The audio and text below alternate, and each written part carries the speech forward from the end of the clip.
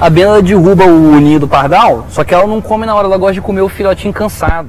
Aí ela derruba de manhã e de madrugada, deixa o dia inteiro de madrugada que ela come o filhote. É uma, um apreço aí dela aí, de, de- de gosto, né? A natureza ela é sinistra. rapaz.